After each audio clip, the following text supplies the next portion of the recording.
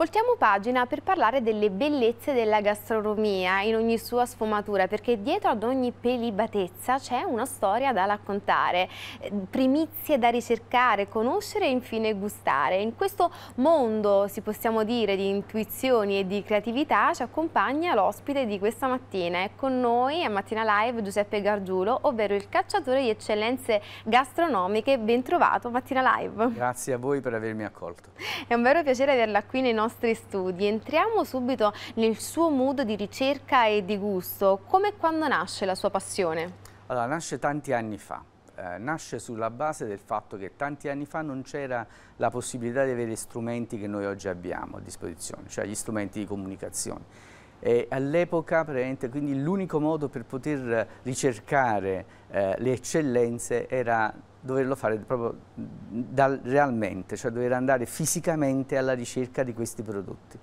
Questa cosa mi ha appassionato, mi ha entusiasmato perché era proprio una caccia, una vera caccia al tesoro, alla scoperta di queste realtà uniche che c'erano legate a grandi personaggi che dedicavano la vita per realizzare dei prodotti meravigliosi e quindi praticamente me ne sono fatto pian piano una, prima una passione, poi questa passione parlandone con altri è stato un passaparola, no? ma si potrebbero avere quei pomodori, quelle situazioni, quelle cose finché poi è diventata una professione tanti anni di studi direi.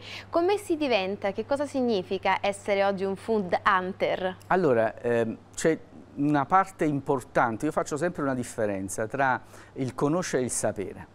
Eh, per me il meccanismo del sapere è legato al vivere con i sensi qualcosa. Quindi prima di tutto se io non conosco i sapori, se io non vivo quelle le realtà, non riesco poi a trasferire qualcosa se mi, mi, me le leggo soltanto, no? cioè leggo qualcosa scritto da altri, ma è un'esperienza di altri. Quindi la prima cosa che devi fare, devi fare la tua esperienza e l'assaggio è la cosa più importante. Quindi eh, avere il concetto di sapere articolare i propri sensi per degustare qualcosa è uno strumento importante che ci consente di poter scegliere le, i prodotti, poterli confrontare. Oggi abbiamo strumenti anche elettronici molto più complessi, quindi possiamo andare oltre i nostri sensi. Però io sono un po' vecchietto, quindi ritengo che i, i sensi siano sempre la parte più importante che ci accomuna.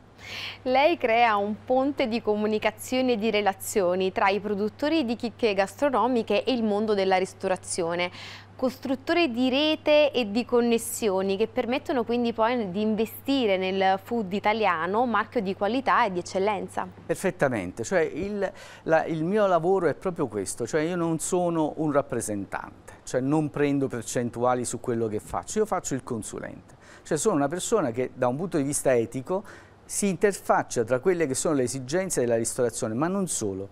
Guardi, io ho molti eh, diciamo praticamente affezionati eh, che sono praticamente dei cuochi dilettanti, cioè chi si diletta di cucina.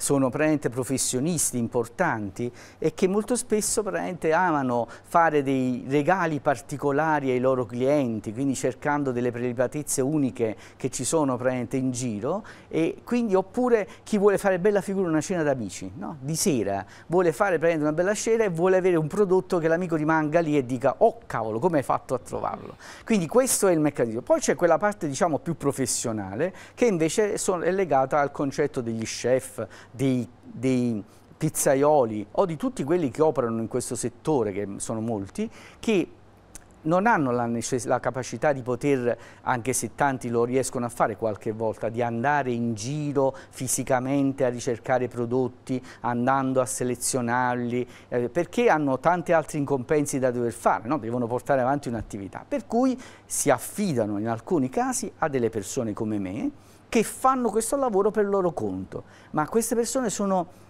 alle spalle, non appaiono mai, cioè io sono mister nessuno, cioè nel senso che queste persone non devono apparire perché sono praticamente legate a un lavoro di un altro. Ed è l'altro che deve avere il suo compito e deve dimostrare se stesso, non io.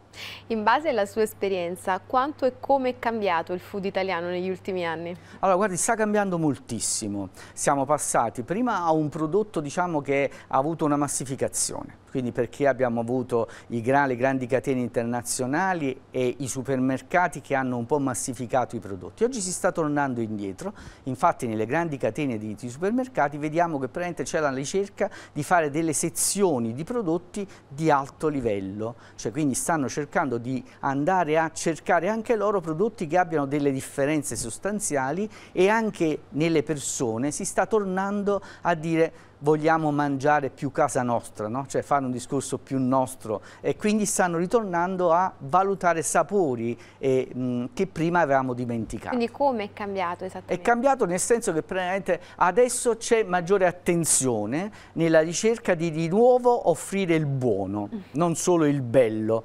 Ma anche il buono, il buono qualitativamente. Qualitativamente. Proprio. Lì poi c'è una grande difficoltà perché avere il bello è facile, avere il buono significa veramente conoscere il sapere, tutto ciò che c'è dietro un prodotto, non limitarsi ad avere, a vivere il prodotto, ma sapere qual è la differenza di un prodotto rispetto a un altro.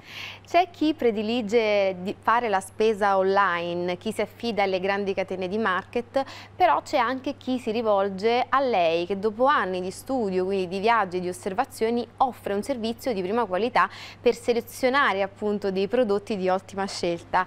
Come sanno le nostre telespettatrici a casa, fare la cosiddetta spesa non è una cosa facile. Non è per niente una cosa facile e le massaie sono le, le massai una volta, adesso prende le donne perché sono impegnate nelle attività di lavoro, quindi sono iper impegnate e fanno un'attività di scouting importantissima, no? si occupano di verificare che il prodotto sia buono, che la data di scadenza sia ottima, che ci siano tutta una serie di situazioni, però questo lavoro che loro fanno deve essere supportato poi dalla possibilità di avere dei prodotti che di base siano già di qualità e il fatto di costruire, lei prima mi ha fatto una domanda a cui io non ho risposto in pieno, cioè costruire una rete di relazioni di piccoli produttori che dedicano la loro vita alla costruzione dei prodotti è una cosa importantissima perché quelle persone costruiscono un prodotto e hanno necessità di venderlo perché solo con vendendolo hanno la possibilità di reinvestire nel prodotto stesso. Quindi vede come è importante questa economia di scala che si, si crea tra tante cose. E noi se le compriamo quei prodotti diamo opportunità di costruire di nuovo il prodotto è, è bellissimo insomma.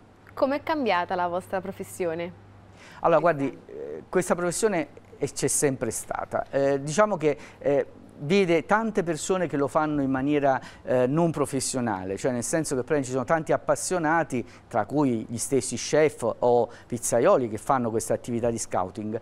Poi nel tempo c'è bisogno, c'è stata la necessità di invece valutare un discorso diverso, dove il prodotto va valutato anche nell'aspetto sensoriale, avendo la capacità di comprendere, quindi ci sono i panel di degustazione, ci sono tutta una serie di meccanismi che consentono di valutare un prodotto rispetto ad un altro. Ed è importante, anche un'altra cosa importantissima, che è il lotto di un prodotto, perché un lotto può essere differente dall'altro. Questo è importante. In che cosa? Eh, significa che un'azienda produce un grande prodotto, ma lo produce in lotti, in quantità limitate di prodotto. Ogni lotto ha una sua storia, per cui ci sono delle aziende che hanno lotti che hanno di, sono di valore più alti, e un po' il concetto del vino con le annate. No? Lei se, si trova con dei vini di annate particolari che sono eccellenti rispetto a altri che hanno delle annate in cui sono buoni ma non sono eccellenti al massimo. Questo vale anche per i prodotti che sono legati ai formaggi, a quelli che sono quindi è, bisogna determinare non solo qual è l'azienda che lo produce, ma anche quel lotto come è stato prodotto. Perché? Perché le condizioni climatiche, perché le condizioni di produzione in quel momento sono state meravigliose e quindi hanno creato un prodotto unico per quel lotto. E come si scelgono quindi i prodotti per fare la spesa? Diamo un consiglio appunto ai nostri telespettatori a casa. Allora, io faccio una premessa. Prima di tutto dedichiamoci ai prodotti che sono contrassegnati dai marchi DOP e IGP. Sono prodotti che sono legati a consorsi di tutela che hanno strumenti di controllo, quindi fanno in modo che quei prodotti abbiano delle caratteristiche controllate e certificate. E quei marchi sono importantissimi per noi perché ci consentono di dire questo è un prodotto fatto secondo uno schema preciso. Poi abbiamo al di sotto di questo tutta una serie di prodotti chiaramente dopo EIGP, che sono i due marchi europei che contraddistinguono i prodotti. Poi abbiamo tutta una serie di prodotti più piccoli che sono legati ai PAT, che sono prodotti agroalimentari territoriali. Purtroppo in quell'ambito c'è bisogno che chi fa scouting sappia scegliere i prodotti migliori e lì dobbiamo affidarci a quelle aziende che si affidano o lo fanno direttamente a persone che fanno questa attività mirando ad avere non il miglior prezzo ma il miglior rapporto qualità-prezzo. Oggi lei collabora con il paniere di eccellenze artigiani del gusto e affianca tra l'altro diversi chef e pizzaioli italiani nella realizzazione dei loro progetti gastronomici. I suoi sogni da bambino si sono realizzati o c'è qualcos'altro di nascosto che vuole venire fuori?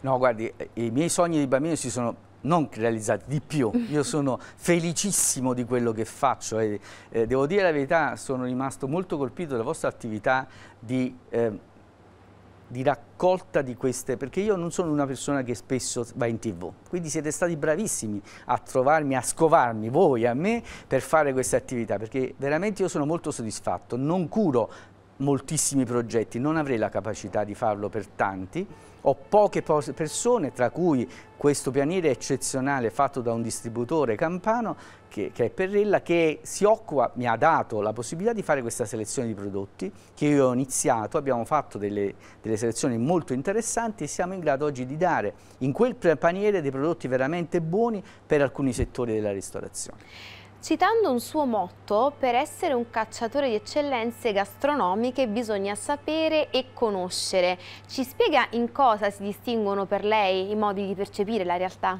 Allora, lo dicevo prima, l'ho anticipato perché è un mio motive, quindi praticamente gliel'ho anticipato. Il concetto è, per me, il, la conoscenza viene dal libro, cioè io praticamente leggo libri, apprendo cose e faccio le situazioni. Il sapere invece è legato ai, ai sensi, per cui per me uno che vuole ben mangiare deve mangiare così come se io voglio diventare un buon scrittore devo leggere, non c'è possibilità di fare altrimenti.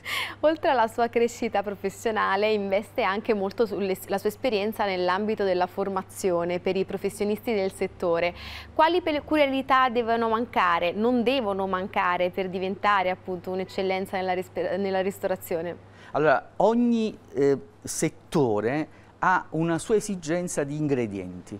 Sembra strano, ma Parlare per esempio di pomodori in cucina è diverso di, di parlare di pomodori in pizzeria perché i pomodori in pizzeria vengono usati in una maniera, in cucina vengono usati in un'altra maniera, per cui esistono pomodori che sono migliori per fare la pizza e pomodori che sono migliori per fare la cucina. Qui entriamo veramente il meccanismo, adesso mettiamo in confusione le, le, signore che ci stanno ascoltando che diranno mamma mia. Qual è il pomodoro giusto? Giusto, ma non solo, qual è il formaggio giusto, come va tagliato, come viene servito? E ci sono tutta una serie di cose, quindi vede un mondo enorme che deve essere eh, visto nella sua totalità complessità ed è complicato. Se noi riusciamo a fare queste cose però potrà vedere che non con grandi ricette, ma con semplici preparazioni fatte di pochi ingredienti possiamo fare delle cose meravigliose, perché sono gli ingredienti che compongono le ricette.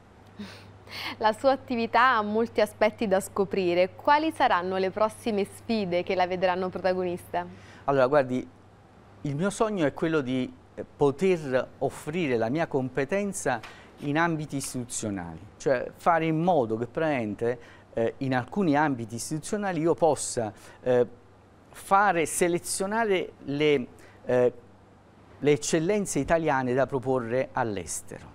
Questa è una cosa molto bella per me, per esempio riuscire a fare in modo che nei momenti istituzionali che vedono il nostro eh, paese all'estero ci sia la capacità di poter selezionare in maniera attenta alcuni prodotti che sono piccole nicchie che non si trovano da nessuna parte.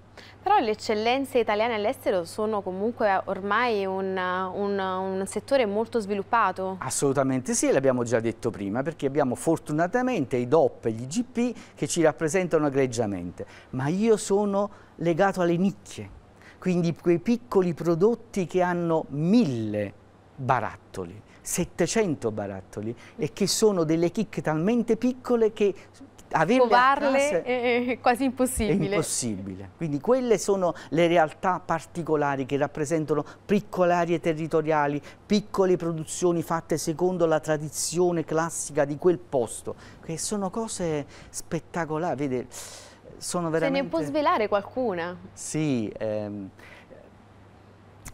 abbiamo per esempio, allora, noi abbiamo i PAT, glielo dicevo prima, no? Praticamente, eh, la goccia di Avellino, che è praticamente una, eh, diciamo, tra virgolette, una culaccia, cioè un, un pezzo del, del, discorso del maiale molto, eh, molto importante.